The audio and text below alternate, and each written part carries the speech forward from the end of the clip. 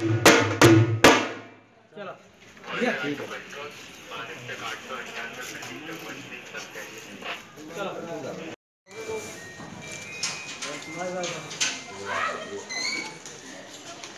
ठीक है मेरे यहाँ से जब अरे